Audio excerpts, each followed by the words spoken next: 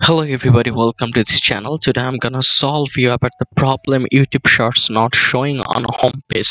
For that you have to follow my instructions very carefully. Right now you can see that I'm on the home page of YouTube. So if I go to the channel homepage. Basically if i tap on the view your channel you can see this is the home page and right now you can see there is no short section showing here.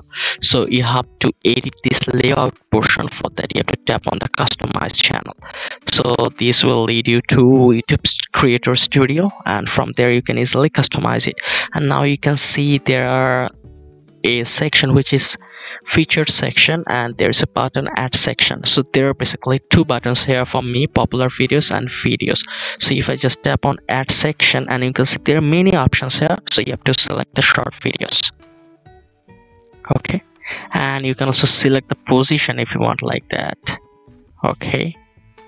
So i'm gonna make it to second one. Then if i just tap on the publish you can see it's publishing and if I just go to my channel right now refresh it. Now you can easily see the shorts here. So this is how you can do it. And if this tutorial helped you like this video. And don't forget to subscribe to my channel. See you in the next one